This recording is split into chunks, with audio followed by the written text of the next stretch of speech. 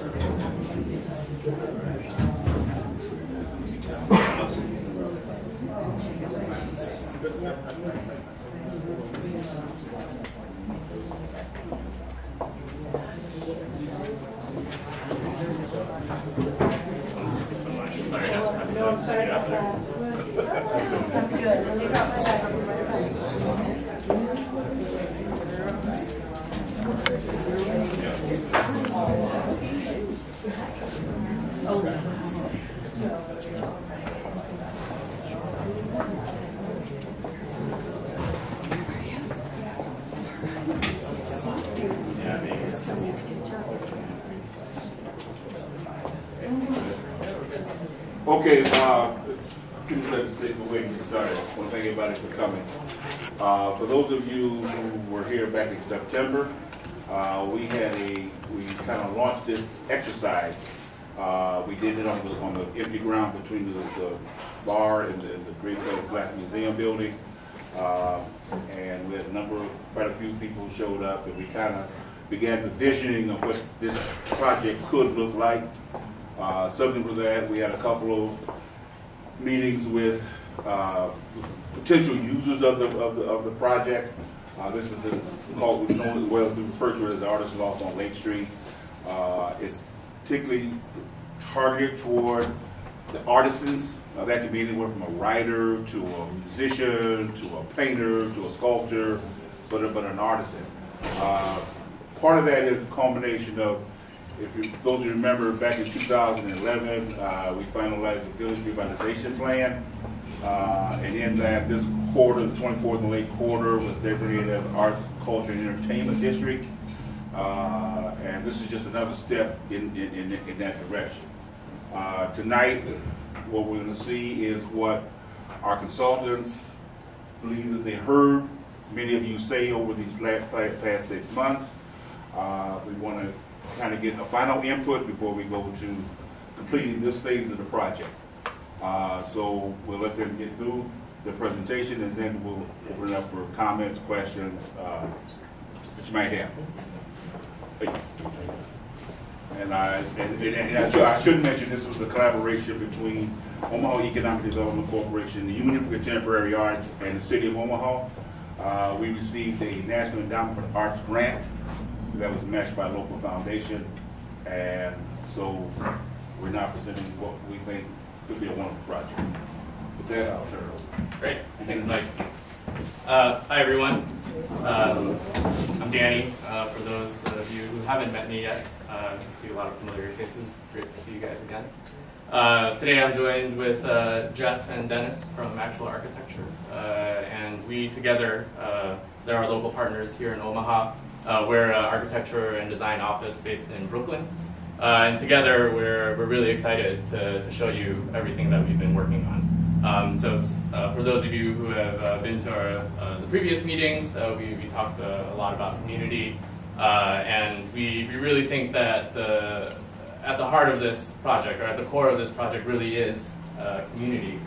Um, and so uh, we, we had a series of uh, meetings with uh, artists uh, and uh, other creatives, and we, we really wanted to understand uh, what this building needed to be to make it work for them, what, what it would mean also for the community at large, and North Omaha as, a, as a neighborhood.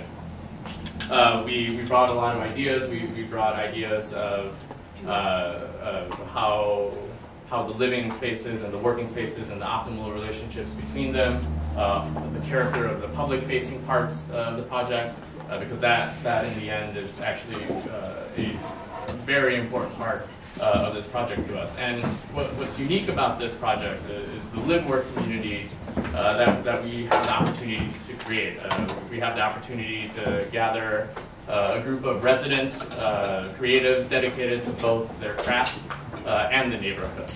Uh, we uh, and we received uh, a lot of a lot of great feedback. And so we we saw this project we saw this project uh, as bigger than just a building. Uh, our, our meetings uh, showed us that uh, this will be a piece uh, to the overall revitalization uh, of the area and, and the creation of uh, the uh, uh, cultural arts uh, section in the neighborhood. And to that end, we, we, we think that this is really a component of, of a larger cultural campus uh, at 24th and Lake. Uh, it's a campus that, that also uh, includes the Great Plains Black History Museum, uh, the Showcase, uh, and the Union uh, right at the corner. So we, we, I, I mentioned that public spaces and the public facing part of this project uh, was extremely important, and we, we really uh, believe uh, that the, the bringing together of a community goes beyond the creation of buildings, and that we really need to create spaces that, that foster interaction, uh, that allow, you know, for example, uh, street street performances of musicians, and just you know having having the sound uh, of the music just attract people and bring them uh, uh, to the to the project, and, and in a sense, it, it really gives life, and, and we think that this is this is really what the beauty of the project is: is that we have an opportunity to to bring life uh, here and on this corner uh, around this campus. Uh, we, we had a series of surveys uh, in addition to these meetings, and, and uh, this response uh, to one of the surveys really resonated with us, uh, especially this idea of a heart.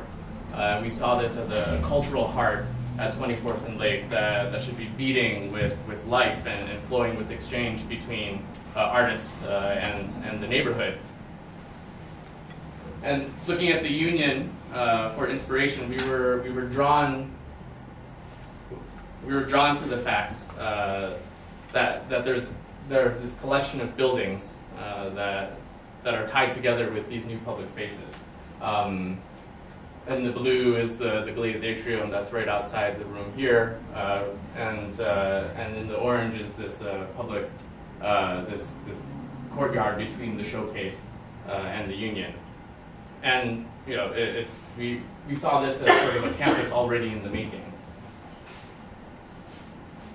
And we, we felt this had the seeds uh, for a project where the spaces between the buildings became as important as the buildings themselves.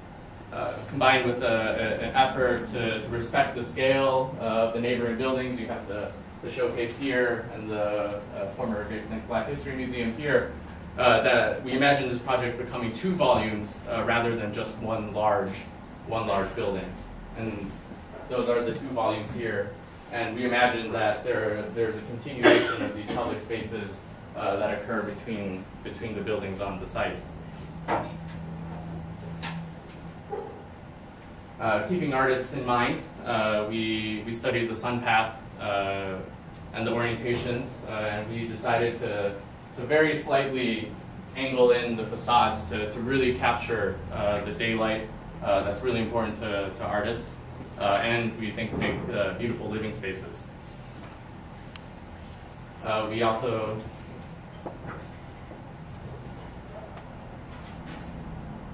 We also looked at the approaches, uh, the approach from, uh, from the car on Lake Street and the approach of walking on Lake Street. And we, we wanted to, to create a, a series of, of um, to, to promote this idea of creating public spaces. We, we angled off the buildings uh, and we didn't directly, we didn't very visually tie them uh, to the buildings. We thought that the buildings uh, had to, as a campus, uh, would be would be related to one another, but not necessarily um, exactly attached uh, to one another. Uh, looking at further, a little more nuanced approach, um, you know, the, how the residents and artists enter from a parking lot from the south, uh, and how someone who might be visiting the union uh, approach approach the project. We, we felt that you know, the, the buildings themselves, the volumes had to had to have a sense of, of welcoming. And so we, we further, we pulled out parts of the facade to, to create uh, what we think is a, is a funnel that's, that basically attracts people uh, to the space between the buildings. Uh, looking at the, the project on Lake Street, um, we, we saw that uh, these, these buildings, we, we wanted to, to get the scale uh, to be, to be, I guess, uh, for lack of a better word, uh, have it fit with the existing buildings. We, we recognize the, the heritage, there's great heritage in the showcase uh, as, a, as a music venue, and there's, uh, and you know, the Webster Exchange Building and the Great Plains Black History Museum speaks for itself. So we, we thought that the buildings uh, would, would relate to them in, in scale. Uh, we're proposing two volumes, uh, or two buildings, one that's shorter that's related to the showcase, and one that's taller, and that's uh, related to the Great Plains or the Webster Exchange Building. And uh, we we joked about this in, in the office about how this is this is a little bit like jazz in the elevation. The uh, the, the rhythm of the heights of the buildings uh, sort of uh, work with one another, but are, are at the same time different. And, and we, uh, we we like that we like that analogy. Uh, we also looked again at the, at the public spaces or the in-between spaces between these buildings and, and how they related to one another. We have the union here, the, the space between uh, the, the union and the showcase, uh, and then also the spaces between those buildings and the new one. and you can see this might be a better representation of it, the, the sort of spaces that, these outdoor spaces that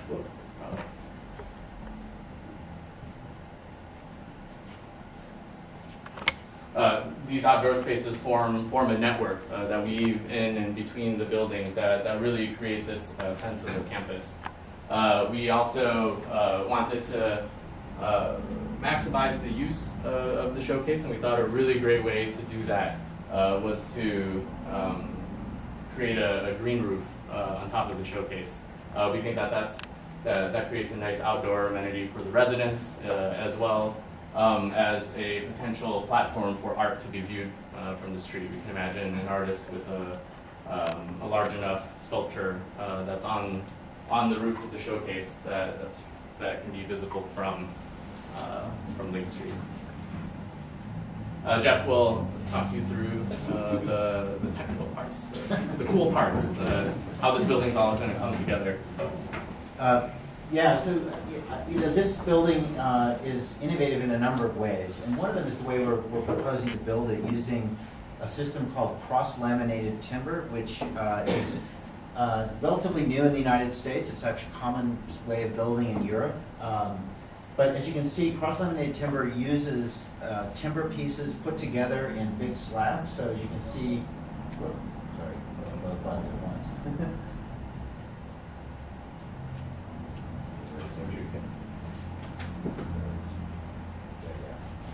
So you can see the layers of, of timber put together in this big slab, and then the slabs are fabricated in a factory and then brought to the site. And what this does for us is a couple of things. It lets us build a building that is in a way like an industrial building, that it's made out of repeated um, uh, elements that are very easy to assemble, but it's wood, so it's warm and pleasant and, and very nice to be around. And what's great about this is that you don't have to um, finish. Yeah, I don't know. Yeah, there we go. Um, you don't have to finish the interior with drywall or paint or anything. Let it be what it is, which is a really great opportunity for us to, uh, to create a, an environment that's warm and friendly, but rough and ready for artists to inhabit.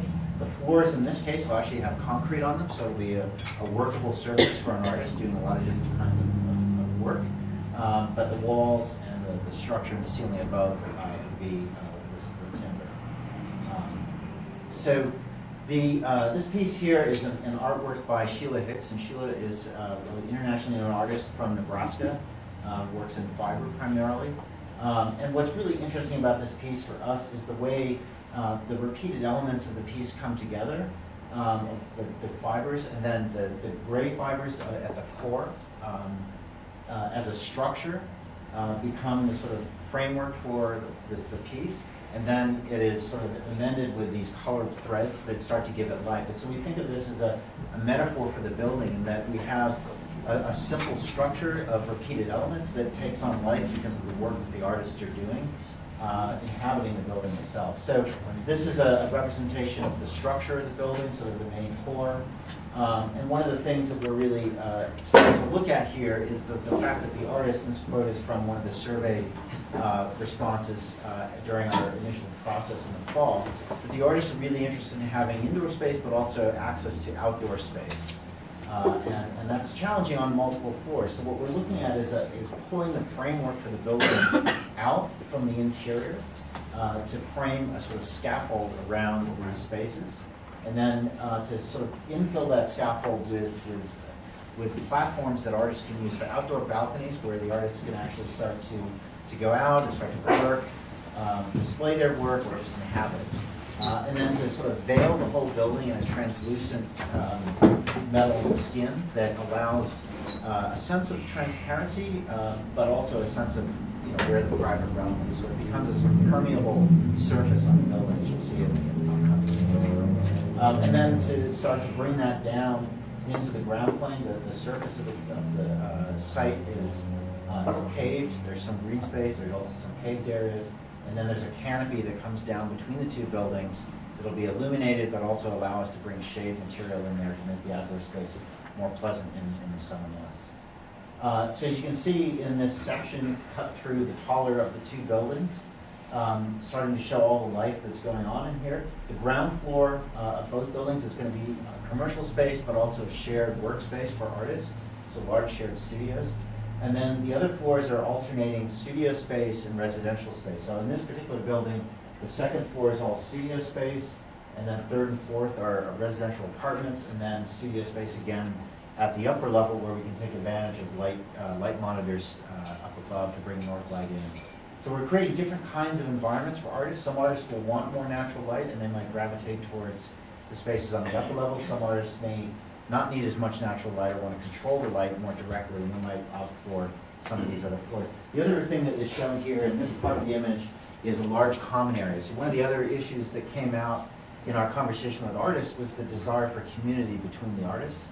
And so we see this building as a framework that forms that community by providing public space outdoors that is really open to anybody, and then indoor communal spaces that are for the artists who are inhabiting and working in the building, where they can actually get together and talk about their work or, or even start to work together on projects. So this idea of being artists being able to come here to have a community of artists is fundamental to this project. It's really why this project exists. It's about bringing artists together to work together in the same environment. Um, so I'll kind of run through the, the plans fairly quickly, just to give you a sense of how this lays out. Um, the far left here is the showcase building. Um, that's this here. Uh, and then the three-story building, and then the five-story building, and then the Webster Exchange over here with the courtyard between. There's a, a corridor that runs through all of these buildings that actually connects across from an access way into the union. So it provides the artists and the inhabitants in the building a way to move through all the spaces to cut across uh, the sort of grain of the building. Uh, The the showcase building will be renovated, uh, but still function as a lounge and and maybe a music venue, possibly with a recording studio in the back area. Uh, The, the sort of three-story building here would have a tenant space in the front that could be split into multiple tenant spaces or one large tenant space. Could be a restaurant, could be a gallery, could be a combination thereof. Uh, And then the, the southern part of that building is a shared studio that'll be uh, equipped for the artist to use, you know, heavier uh, equipment, less such as welding, maybe a paint booth could be installed in there, and it would be fireproof for, for those kinds of functions.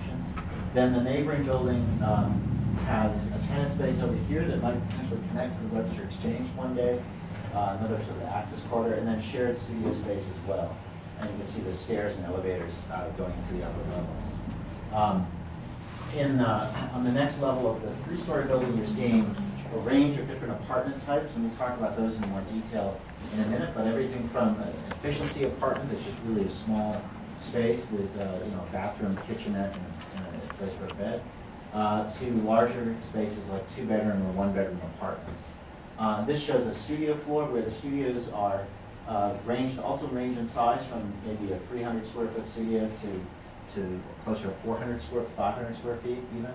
Um, And those are also equipped with very minimal kitchenettes and bathrooms so that they can actually function as residences. So someone may rent that space to use as a studio, maybe they want to stay there sometimes and that's possible. Uh, they'd actually built legally as residences in that sense.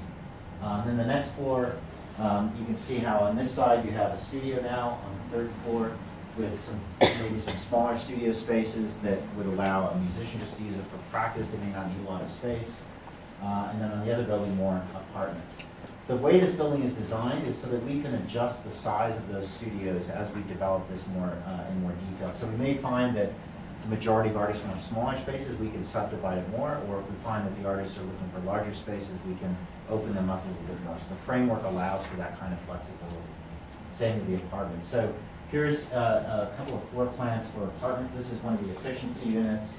You sort of see the the bathroom, kitchen, sort of sleeping area, living area, all kind of combined into one sort of uh, ranging from 360 to 390 square feet. And then a one-bedroom apartment ranging from 520 to 620 square feet, using three of the bays of our building. And then uh, uh, this is a larger one, um, you know, as large as 870 square feet with two bedrooms, but that could also be used as a bedroom and workspace, depending on who's, be in. Um, But um, access to water uh, and and so on, these are all things that we're trying to provide for the artists. So um, in the studios, you're going to have, as I mentioned, the very minimal sort of kitchenette and bathroom in each studio, which allows the artists to, uh, to to do most, most things the artists are going to want to work on in terms of production, but they could also live in one of those spaces as well.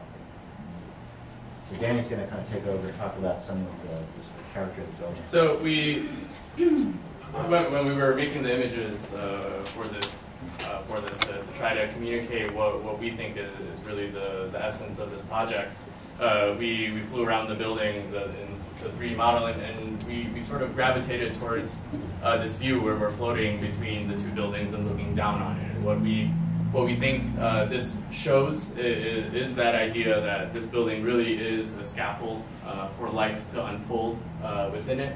Um, Jeff mentioned that there, there's a transparency to the veil uh, that we're trying to achieve, uh, and we, we, we, we're, um, we're, we're designing it with uh, a lot of windows and glazing to allow light in. And what that what that allows us to do as well, or what the project allows the project to do, is really show uh, the personality uh, and the character of the people inhabiting it. So, you know, whether you choose uh, pink curtains or blue curtains or no curtains at all, uh, the plants that you decide to leave out, all of those, all of those everyday uh, little things that, that sort of add up to, to what is, you know, a, a, a, the life of a person, we think is, is really worth uh, showing. Um, you know, whether it's messy or whether it's neat, we, we think all of that is, is, is great. And then in the, in the courtyard uh, between them, uh, we, we also see this as a place where, where art can occur, uh, where you know, someone, someone who, who's feeling inspired can, can start drawing on the, uh, on the, on the uh, stone pavers. or you know someone who needs a little more space to, to work on their uh, to work on their giant balloon can, can have a space to do that. And we, we thought that this, this really captured that, that sort of uh, that feeling uh, that, that we wanted to, to the project to have. And you know we, we, we think that in, in, in showing this the all the small things of everyday life that it really does reflect the culture uh, and the and the community, and we think that's that's really great.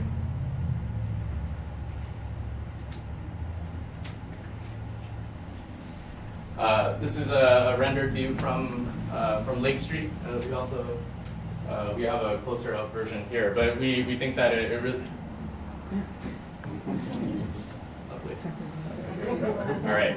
We think that this, this captures the idea uh, of a campus, where you can see that you know it's the Black, the Great Plains Black History Museum, or sorry, Webster Exchange Building, and the space that you can you can head behind it uh, behind the new building, come through this, uh, come through this courtyard and, and, see people working, see people, see people playing music, uh, find out what color curtains your neighbors have. Uh, come around the front uh, and see, you know, we, uh, the tenant space of the shorter building and, and perhaps the, the showcase continuing to be a music venue. and, and then wrapping around that and, and entering this this courtyard here, right outside this room, uh, and uh, we, we didn't. we took some artistic liberties and assumed that a mural would be painted on this wall. we haven't run that by Brigitte yet or her team, but we hope she's she's amenable to that. Um, and so uh, we, we really think that this has the opportunity to, to, to, to give, to, to bring life out uh, on 24th and Lake. Uh, this is a, a, closer view, and so so the, this idea of the, the transparency, we, we really hope someone uh, th this idea of a scaffold also uh, we, we really like this idea that someone plants some vines and, and that the vines also take a life of their own and add uh, something to uh, to the building as a whole.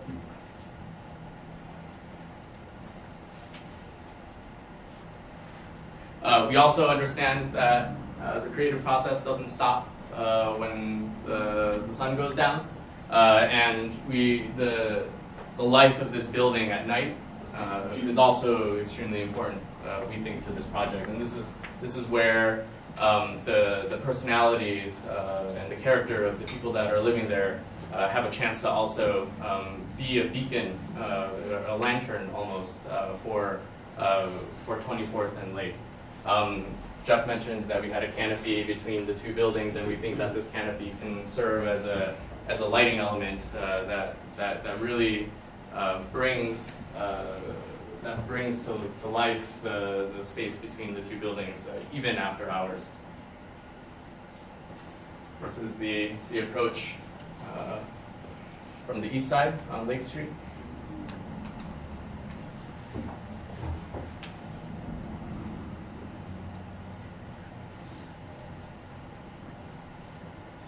And this is standing in the courtyard. Uh, so uh, in the model, this, this is an image of standing between the two buildings and looking towards, uh, towards the west, looking towards the showcase. Uh, and so what we have is the fully glazed uh, ground floor uh, that we imagine could possibly be a restaurant. and that's, that's tied and connected to the showcase, and that's, that's the yellow brick that you see beyond there.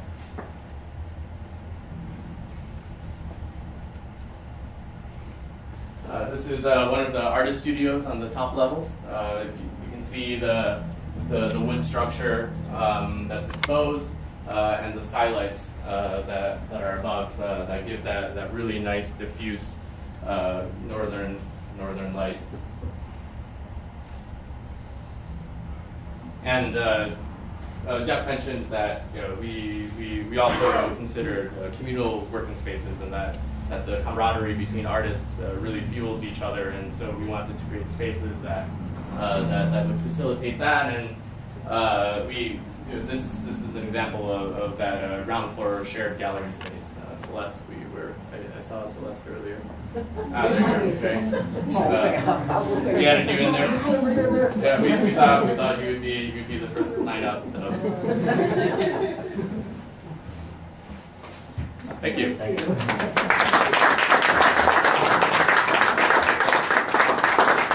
Well, I'll open up for questions, but before we get to questions, I think I want to address something that'll probably come up. One, this is still in the concept stage, okay?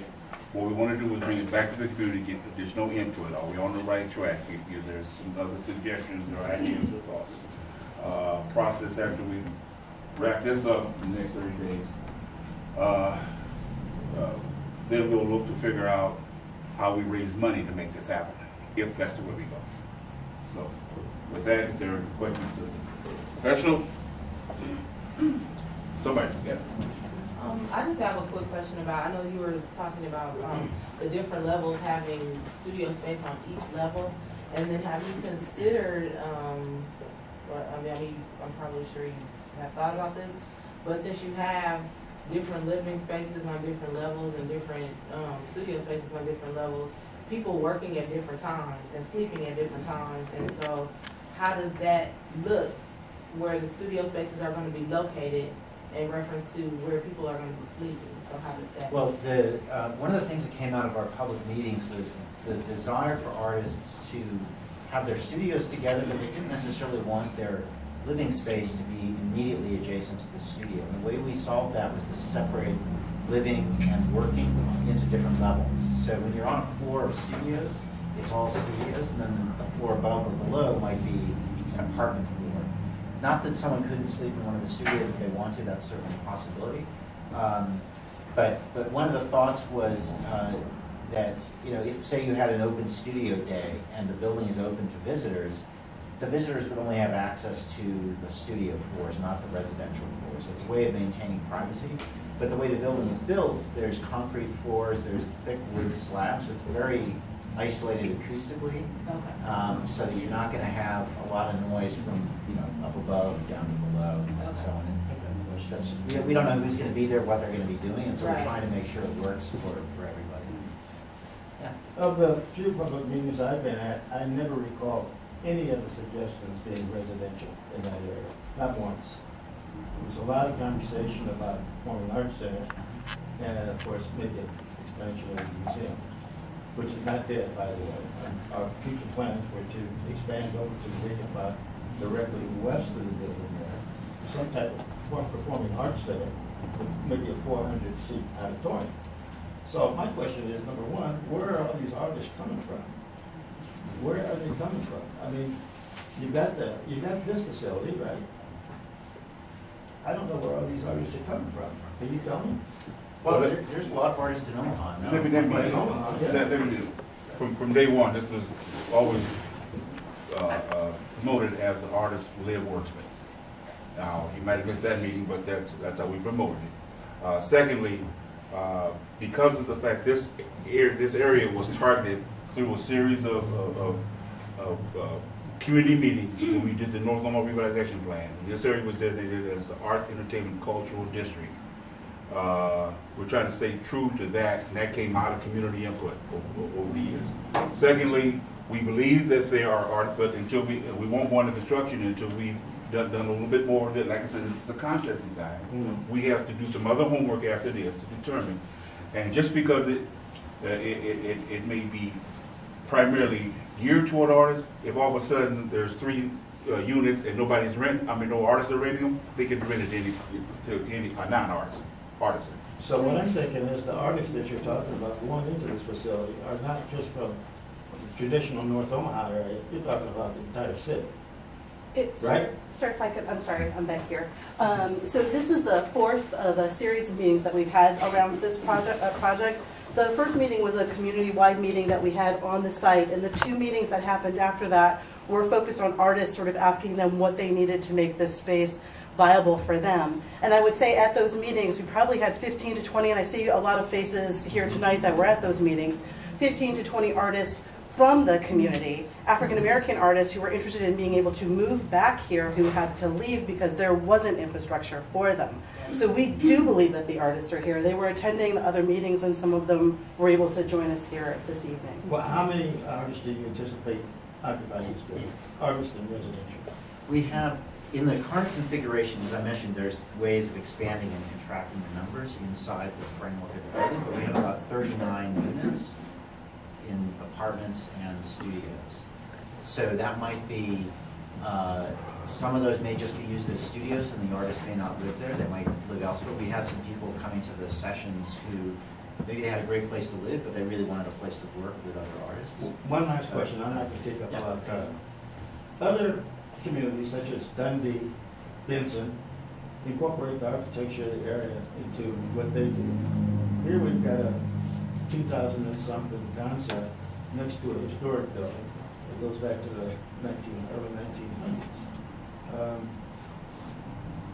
I, I- personally, I, I'm not enthused about the design of this.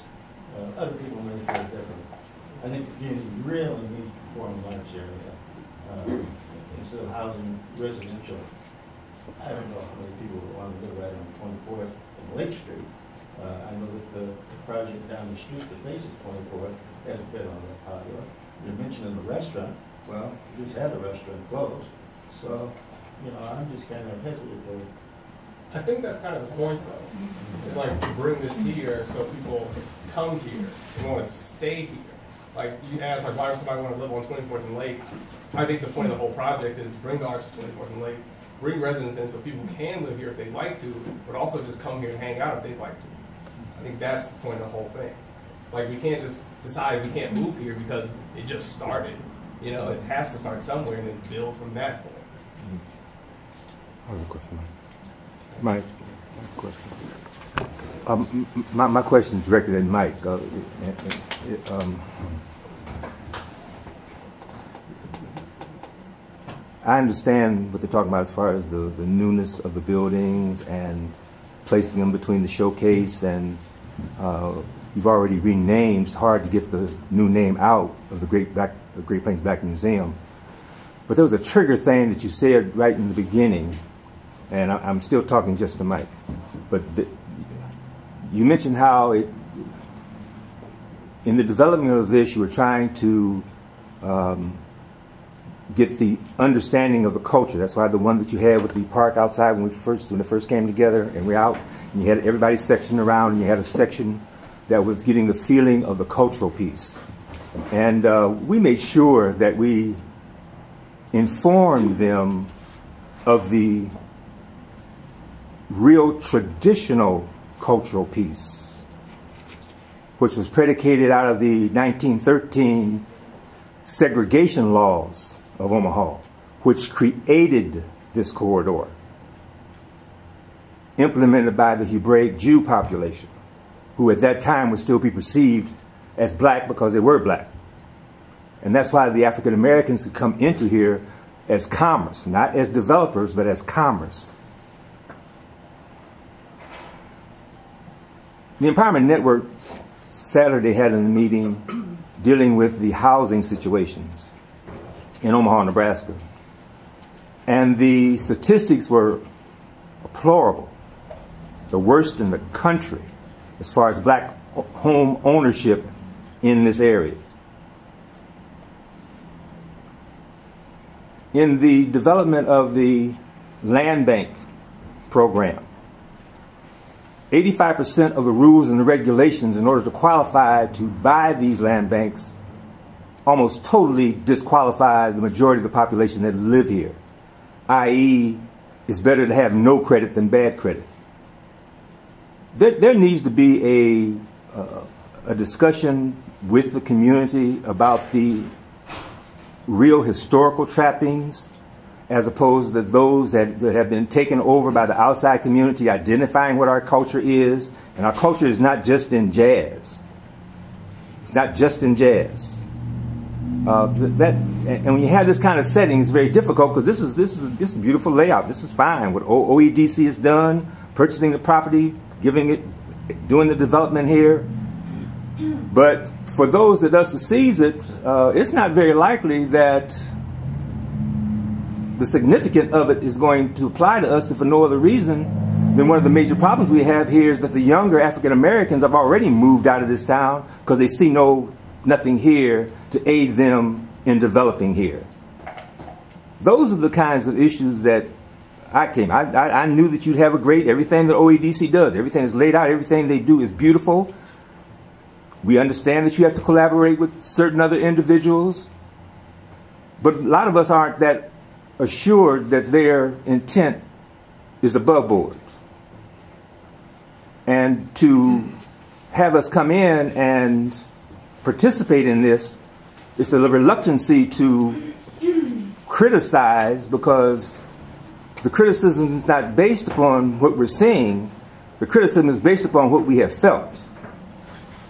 And we haven't experienced any type of real collaboration since this town was purposely segregated to lock black people into a place where we had to develop our own culture. Now we're going to turn around and let the culture, and the culture is not art, the culture was music. We had artists, but it was music. But even the concept of jazz is an overriding because we had music. We had all forms of music.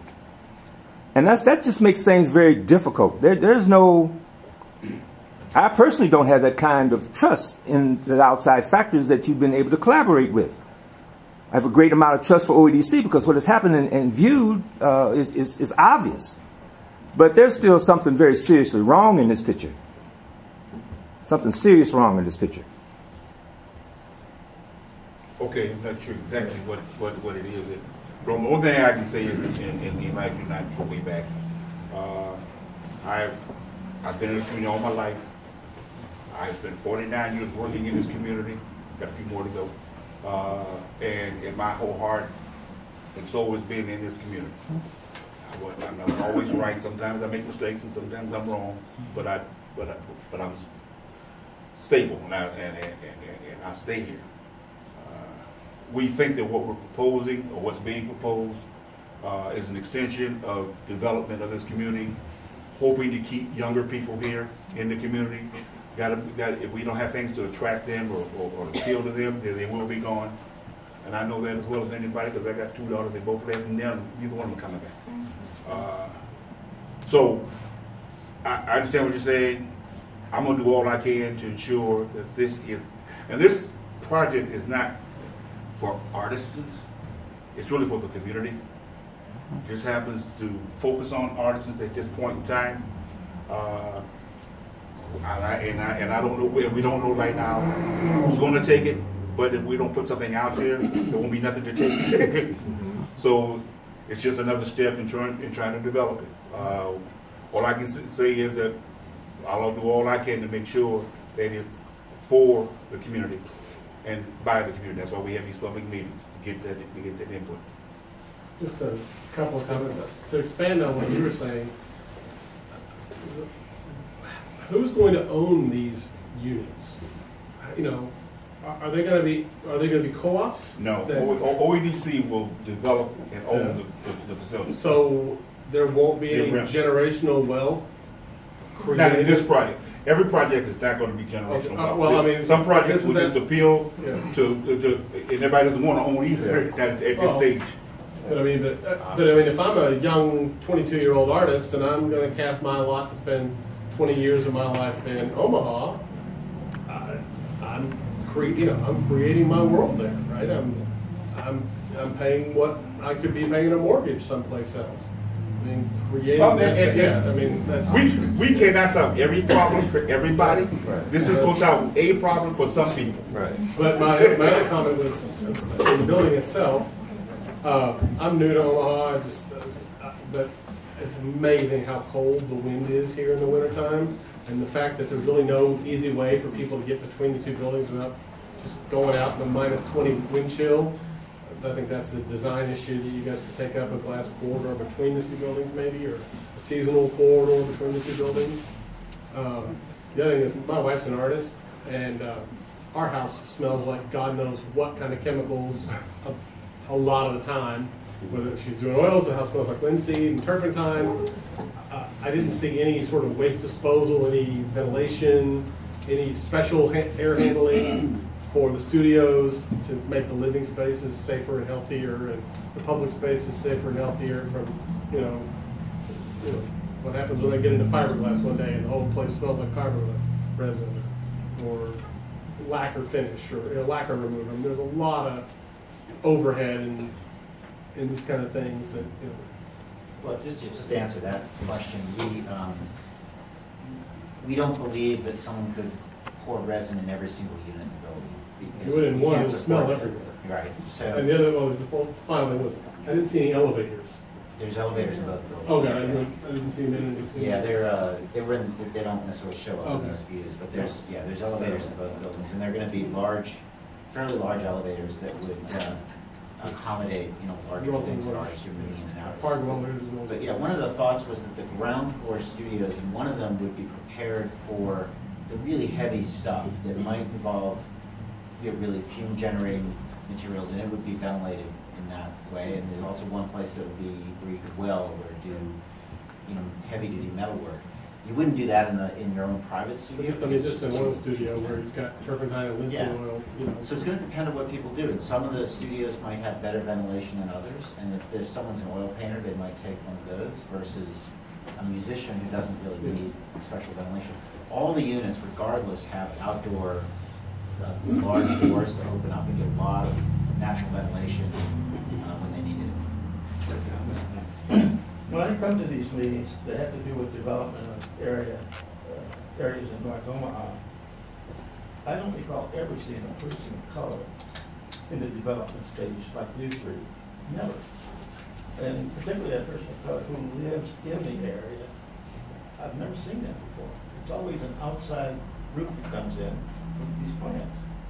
Uh, And let me respond to that. Yeah, We had, we, we, because of the nature of the funding that we got, we had to do, we, we did a national search for our, we put it out nationally and locally. We had about five or six respondents, okay? Uh, and we selected what we thought was the best of those respondents that we had, okay? Now, you, you know as well as I do, there's no black architectural firm in Omaha, okay? So, you know, it is what it is. yeah, but Kansas City, Denver, just right. But but we, we put a national RFP out, okay? If I can say, What is the total cost of this project? That's my last question.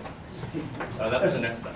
Uh, I'm sorry? So that, so, uh, we, we now have a, a concept design so that we're looking How much towards. is this cost so far? Uh, we, that, that's the next step. We have to, we're now going to dig into the numbers, uh, to really get a sense of How much it's has this going cost so far? well, well, again, I don't know why you're asking that question, Jim, uh, because the National Endowment for the Arts and the local fund to help finance, finance this project. You know, it is what it is.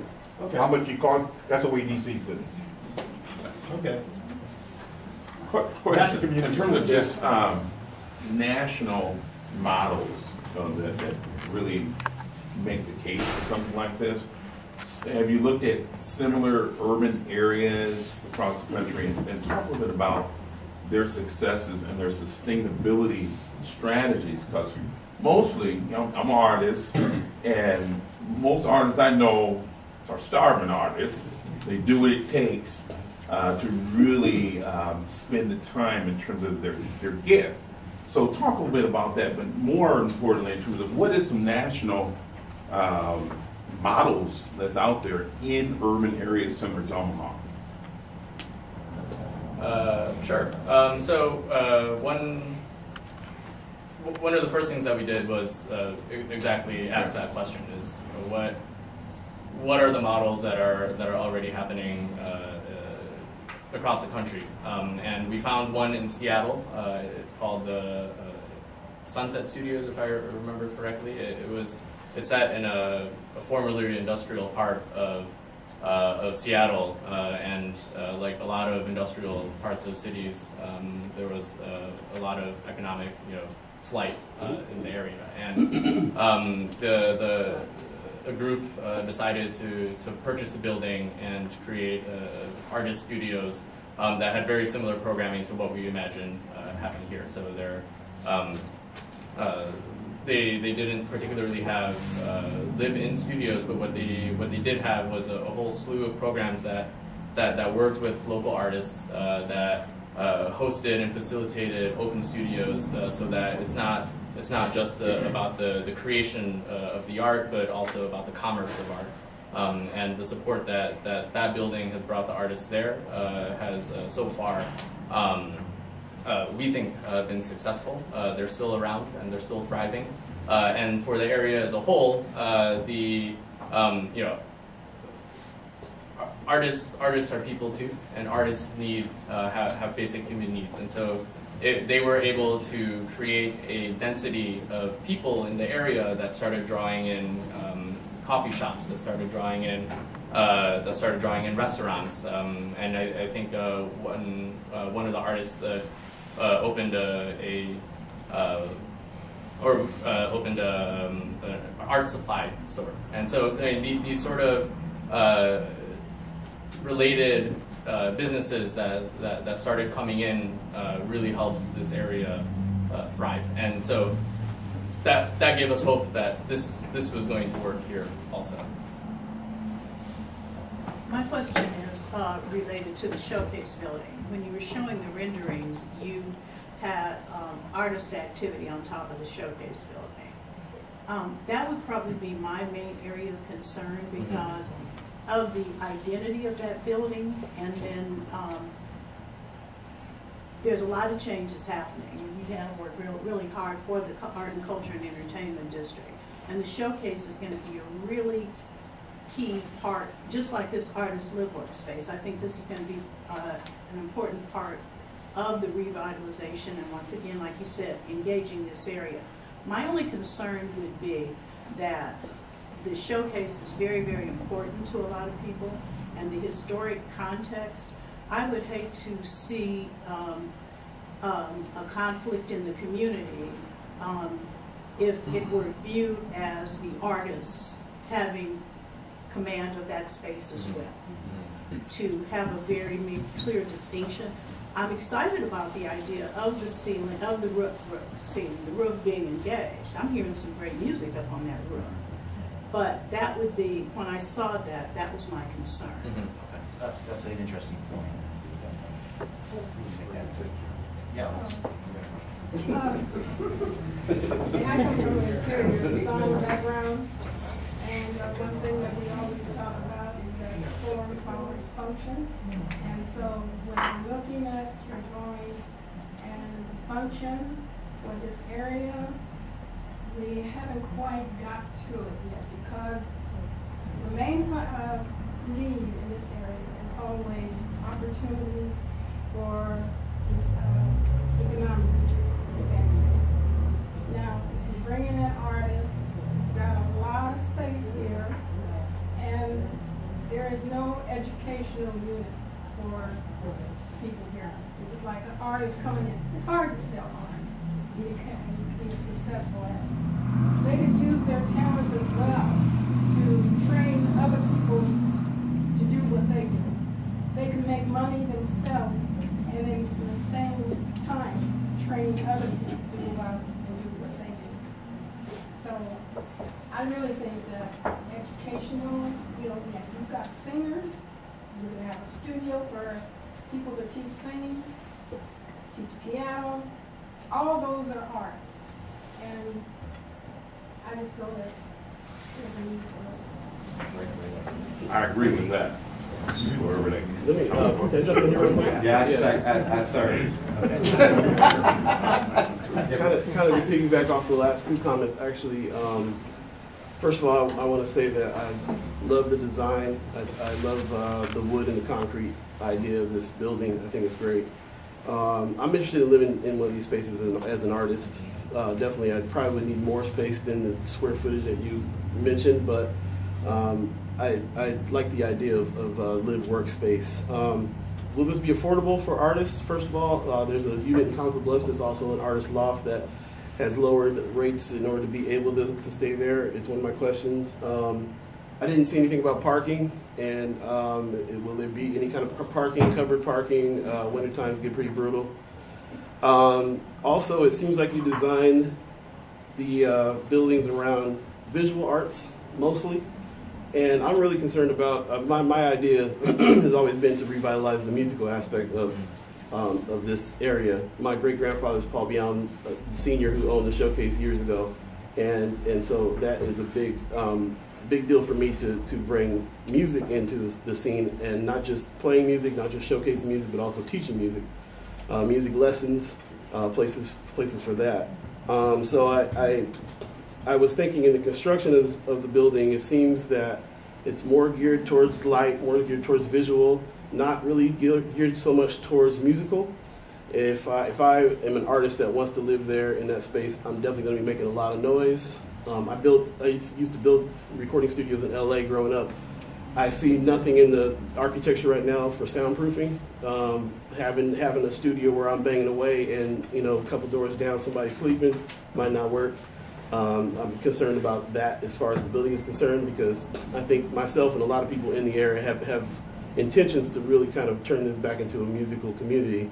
And I think there might be more musicians than visual artists there, if you ask me about it. Probably wrong about that. Brigitte's done a great job of building the, the, the scene here for visual arts as well. But I know that that, that would personally be uh, something that I would be checking out. So um, because of that, and then also, yeah, the, I have concerns about what, what will happen with the showcase, obviously, just because it, it was in the family at one, at one point. But I do like the rooftop idea. Um, I do like the fact that it, it it's still still wants to be a music venue and even a recording studio. That might be great for the, for the, those efforts as well. Um, but overall, I, I'm, I'm glad something's being done with the area, the project. Uh, uh, I like what you guys, uh, it feels good what you guys are doing. It seems like you've taken a lot of notes and taken a lot of things into consideration from the community in these meetings and, and implemented those things in a, in a, great way. And I love the fact that, that um, Mike Maroney's uh, company is involved here and also Brigitte and Union is involved here. So those are two entities in Omaha that I trust a lot. And, and so um, I, I'm, t- I'm leaning towards, yeah, this is a good thing. So if you can address some of those issues I had about the construction, uh, parking, and, and those things, I'd, I'd love to hear it. Yeah, in terms of the acoustics, we, um, we would build every part of the building to a certain level of acoustical isolation, but then there may be certain areas that are geared more towards musicians that'll have additional separation. So double walls between the units and additional acoustic insulation. The same way in another space, we might handle, uh, you know, additional uh, ventilation for toxics and fumes and smelly stuff. Uh, but we won't do all of that everywhere because it would just get too expensive. So one of the things that will happen in the next phase is trying to understand who really might be here and how does that mix work? How many musicians, how many sculptors, how many performance artists, and, and so on. And try to understand how much of it needs to really be acoustically uh, enhanced and how much of it maybe needs to be ventilationally enhanced. Let, me address that parking issue, because trust me, we're, we're aware of the lack of parking. Uh, The zoning would not require that there be necessarily a parking lot or anything. Uh, I'm gonna ask some of y'all, just think back, if you go to uh, Underwood in Dundee, you go to 49th and a half to 51st Street, uh, it's a block and a half. Go to Benson, go to 59th to, to, to, to 63rd, that's about a four block area. At one time, they were both dead, and then all of a sudden, they had a parking problem. I hope we have a parking problem. Well, that's why I'm. there. That means people are here. And that's, the people coming. that's the reason why I'm asking about it. I'd like to Yeah, head and, it off and the then, and then we will get with the city, like I think I saw city person, and figure out what we do about that parking. Yeah, yeah. I see a big lot across the street. Yeah. Yeah. All the parking. I don't know. I've been to, I've been to shows and showcase where that lot was full. I just got one statement. I think it's a really great project, and I know I was moving to. I know at least eight other artists that would as well. The only question is like that top floor. Like, could that be like live space? Because I think that'd have a great view downtown. as well, you know? Yeah, well, it it would, it would have a great view, and, uh, you know, if it turns out that people want to start living there instead of using it as workspace, it's zoned, it'll be internally zoned, so they could do that. Um, We're basically building a framework that can be inhabited in different ways, but we were thinking, that's a space artists may want to be, because they've got this great platform for visual artists, photographers, and so on. But it may, it may go a different way. Also, the affordability question too is what I really want to get answered if I could. Um, artist affordability, as far as Yeah, I, I, I think this has been a conversation we've had from the beginning, and, you know, a lot of the artists who came to the meetings talked about, you know, what they could afford and, and what the limits are, and, uh, that's something that, as we work on the cost of the building, how it's funded, how it's managed, that all has to work out, and, uh, it's definitely, we, we think of it as attainable artist housing, that's essential to make it work. So at this point, no, sorry to interrupt, uh, no estimates have been made or anything like that for any of the people who are, have a stake in. Yeah, no, but, uh, I, I think, as, as we kind of understand what costs might be, then we have to figure out how many, how much rental space that we have, and lease space that we have, and how much can we really charge? Because there's a, there's a limit to what one can charge, and particularly if you're targeting a, a certain group or certain area, okay? This will not be high-end rent units, because we, we know better than that. And if we want to attract the, the folks, particularly from this community or, or those outside the community that want to be in this community, it's got to be an appropriate rent, uh, and that's what we're going to strive to get to. Michael, once again, again, I'm wondering, with this concept so far, there has to be a rough estimate of what this is costing something. It will be. There's not one yet? But- but be- be- Before we get to, we wanted to come back to the community, want to get a little input. They're gonna go back and refine some things Mhm. based upon what, what, what they hear. They're gonna put some estimates together. We're gonna use those estimates as, as, uh, our basis for figuring out how, we one, uh, uh, how much money we need to raise, how much money we can charge, because we gotta figure out what the operating costs are gonna be. So we'll know that the rent that we charge will cover the operating costs. So there- we've got six months worth of work to do Okay. after they get through, before we move forward. I'm guessing between seven and ten million dollars. Could be. Um, and I would just like to ask too, um, just to, to talk about what this, this, this gentleman up here was speaking about earlier. We did mention, um, about, um, trying to make these, the buildings sort of fit into the landscape a little bit better. And, um, um, I think when we talked about that, I think that was mentioned, that you were, that you were looking at using certain types of, um, materials to make that happen. And it kind of looks like you abandoned that. Can you speak a little bit to that? Sure. Um, so, uh, brick was the first thing, the absolute first thing that, that we looked at uh, for the design of this building. And uh, we, uh, we did a lot of iterations on, on how we can get transparency in brick because that's, that's what um, transparency was also a very big uh, part of the, the feedback that we received that there.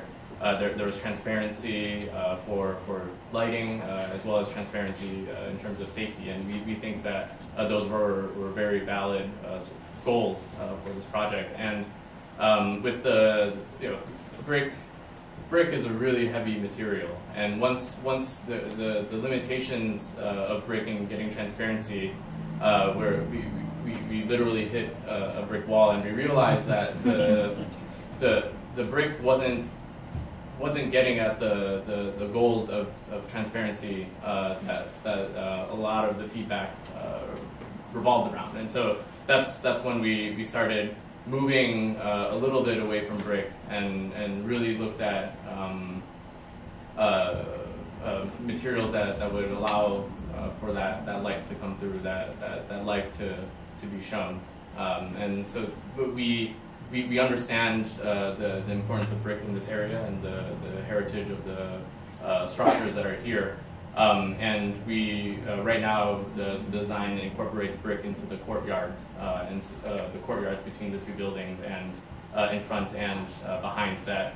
Uh, this uh, brick becomes the material that networks uh, the, the buildings of the campus together. Okay, one more question about that. Is there a way, and I mean, I'm just kind of throwing this out there, but because the front of the building seem like really cold and industrial, and so there's kind of, is there a way to incorporate coloring Yep. into the fronts of the building? Right. So maybe they fit a little bit better and they kind of don't seem so cold? Yeah, for sure. Um, so we we uh, we recognize that as well, uh, and right now it, it might be hard to see uh, the way that it was printed. Uh, the uh, we're we're looking at, at warmer tones of uh, of metal right now. So there are ways that you can that you can um, finished metal so that they, they, they have a warmer tone to them, not necessarily gray, but maybe we, we don't want to say we've seen champagne or gold, but we, we think that gold is perhaps inappropriate as well.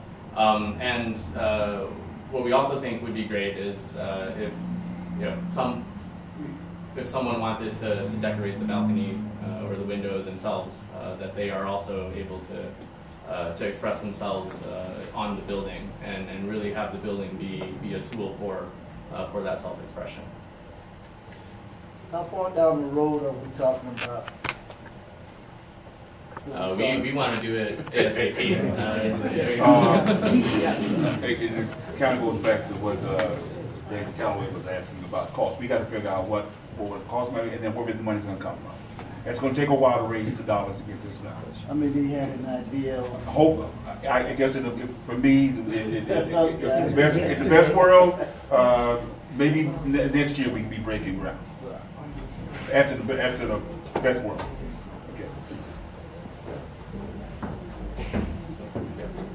Um, is there any type of safety shelter for the- those times when we're in tornado season and people need to go under, you know, what, what, what do you have for that? That would be in the first floor, in in the corridor areas would be reinforced so that you would go down to those le- levels and, uh, and be in those spaces in both buildings.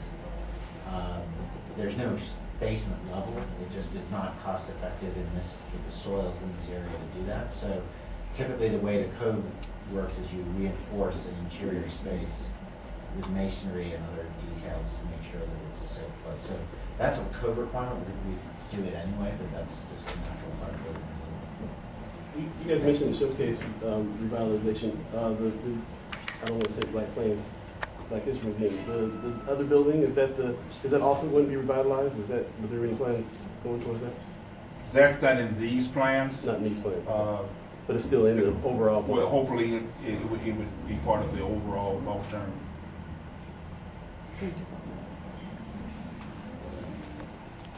just wanted to reinforce a couple, something that Eliga said and Paul, is the whole music scene. You know, one of the things, our goal is to really celebrate all forms of African-American culture and music. So I'm glad to hear from Brigitte that there's 20-plus African-American artists that are interested. And if we can reinforce somebody doing spoken word that can walk across the way and do their thing at Love's and then come back home, or Yeah.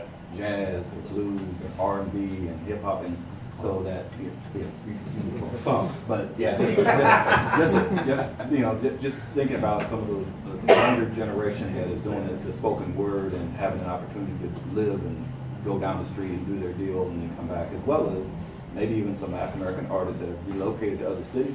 They knew this was happening in their own, you know, community and uh, they can play down, you know, at one of the venues and walk home or whatever.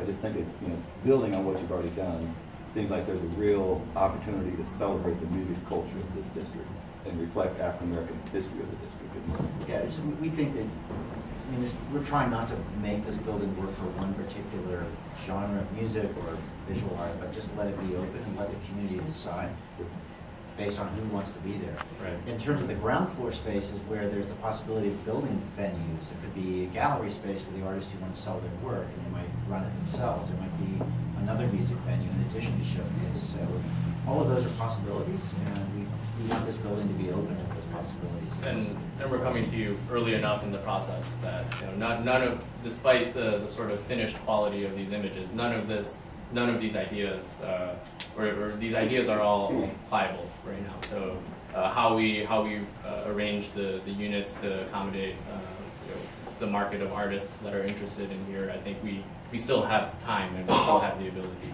uh, to do that. So, thank you. Yes, how you doing? My name is Curly Martin, and I'm a jazz musician. And I probably know the history of North Omaha music better than anybody. And so my concern is about that, about the showcase. Uh, because what I want to do is put instruments back in the young kids' hands in North Omaha, teach them about the history of North Omaha music, teach them about jazz and all genres of music, and especially jazz. Jazz is black classical music, and it needs to be taught. You can't teach a person how to play jazz, but you can open their eyes up and ears to it. And we have a rich history in North Omaha about jazz and blues.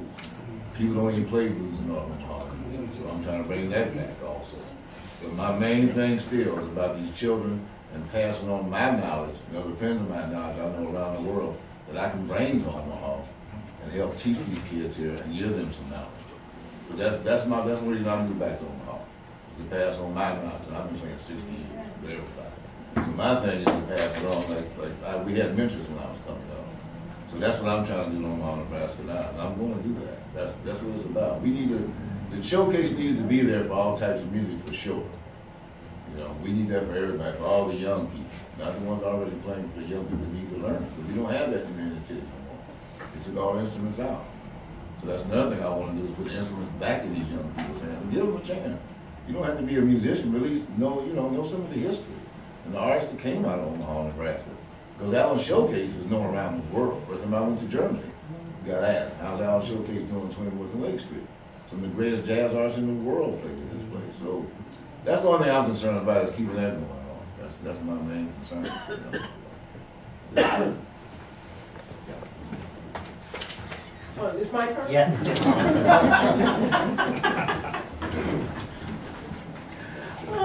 Um, my original question was, um, what did we want to see happen in this, in this? And, um, my answer would be, um, I'd like to see a little bit more historical things of this, of this community. I'm, I'm not seeing that here. If there's an opportunity for that, could we develop that? Uh, you mean architectural? uh, And or- any opportunities that we could see more of a historical presence of the culture in this current area right now, that would be great. I mean, wh- whether that be architect or whether that be, um, interior design Mhm. or whatever, uh, I'm just saying there's an opportunity for that, and I'd like to see that.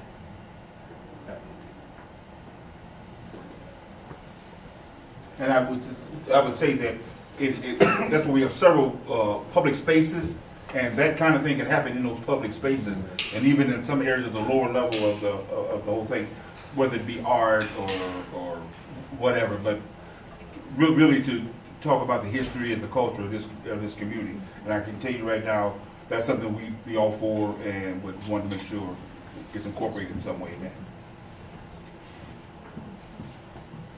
Michael, I don't know if it's for you or Brizzy or maybe Rajiv or both, but if you got, you know, early got Paul, you got, I don't know how the, those artists stay engaged in the development process, because that, I'm, I'm hearing a lot of music and history and culture coming together around the music scene. Yeah, If there's a um, way to, or if you're already doing that, I don't want to. Yeah, we have. So we've Okay. been basically gathering, and a lot of you signed in when you got here. So we've been accumulating all of the contact information for everyone who's come to these meetings. Um, there's also a public survey that's been circulating online where people can give feedback. But we've made an effort to keep everyone that's on that mailing list, list in the loop every step of the process. So notes from this meeting, those have gone out. The survey is still live, so there's lots of opportunities for people to stay en- engaged. And I would say a lot of the artists that had come through that meeting have now been coming to the union, and so we're seeing them in the hallway. They're they're here with us, and so we're doing our best to keep everybody in the loop. Yeah.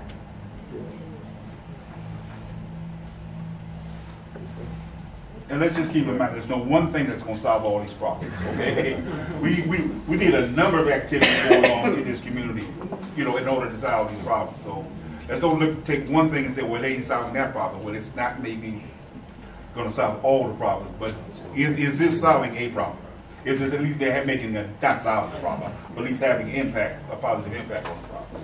And that's what we're trying to do. Like the idea you have kind of a old market kind of atmosphere as far as you put these type of studios in, you bring people in, and then other people will come, and you'll have a variety of venues going on at the same time. You have to do something to bring life back to a dead area, and, you know, like, like I said, uh, my, my, my only concern is I, I would like to see what goes tomorrow.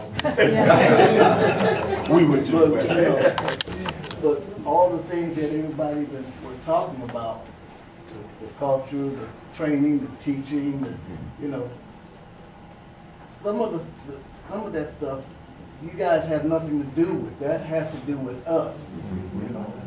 Our involvement, our, our, our doing business with each other and, you know, all pulling our money together and trying to help each other. You guys come up with the facilities to, to do it, but it's up to us to make it work. You're absolutely right. Yep. And I think it will work. I think once we get some uh, life back in the area. So any, any, any city I've ever lived in where, where it was dead, uh, artists are the first ones to come back in and revitalize that area. And um, so I like, I like the fact that I- I'm in the artist community, I know a lot of artists. I like the fact that that can be where some life begins. I can meet my neighbors, I can start a business in the, in the area. And some of this economic uh, development that we need in the area can come from people living in the area and working and, and engaging. So, um, yeah, to me, you know, I, I, I'm just, I'm just trying to uh, let, let you know about how I feel about what we're seeing because I understand that you guys are here to provide an idea of the architecture, not, you're not here to revitalize our culture. We're, we're gonna do that on our own. Um, as long as the space is comfortable and spacious and, and what we need and affordable enough for us to come back to this area and do that, I think that it'll be a success. Um, so, yes, I, I like the ideas, I like the feel. Um, of course, there, there's some notes, we'll have notes on, on uh, a few little things that might, might be different, might change or be different. Um, I really like the idea of the music, uh, uh, you know, having more spaces where there's um, uh, soundproofing so that musicians can go well into the night doing what they do without waking people up. That's, that's kind of my only concern with the buildings, because I, I do believe people like Curly gonna be there teaching kids well into the, well into the days and nights. And um, if I'm living there, sleeping there, I don't want to hear his mouth. Loud yelling at kids. No, I'm just playing. It, it, it, definitely, the soundproofing is my biggest concern, and um, and the affordability for the One last thing, I guarantee you, if you go to the, went to the Benson meeting when they were renovating that area, the Dundee, you would get some of the same kind of complaints that we hear. And that's why we have these meetings, we wanna hear. So, I applaud you guys for doing what you're doing and Thank you for coming. Thank you. Yeah, and I just want to say one last thing as far as, as far as, far as the input that I give. I, I do want to say that I do respect this process over a lot of other processes that have gone on in this community as far as keeping people informed. Because, um, I've been in situations where we have been informed and then I've been in this process and I really, really appreciate this process a lot. Because we've been informed from the very beginning instead of having to come at this process on the back end, which is, that's happened a lot to us. So I really appreciate this process because I was one of those artists that moved away, and I moved away for twenty years. And then, and I live, my parents live two blocks from here, and my, my mother still lives over there, and she's almost eighty years old, moved over there when she was seventeen. So it's like, you know, you have these people that live in the, live in the area, move away, and they come back to the area. I moved away because I felt like I had a ceiling on my life. You know what I'm saying? I'm an all around artist. I'm not only a visual artist. I've been singing. I sing with mm-hmm. Richard Love. I sing. I sing with everybody. Did spoken word. I do all that stuff. But you don't have anywhere to go with it in this area. But when you come back and you see that people are trying to help you develop something and, and have us and have an outlet for what it is that you do, then you you want to come in here and help and do whatever you can to work in your community, to work for your community, and that's what I'm here to do. And I love this process, and, I'm, and I really appreciate how this process has helped us, you know, move forward. Thank you. Thank you. Just want to again publicly, Michael and Brigitte, want to recognize you all for keep pushing this thing forward. Let's go. Thank you, everybody. Thank you so much for your time and feedback. Thank you.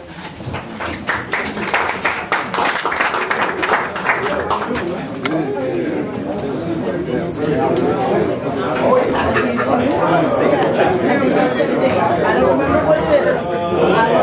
I check it out.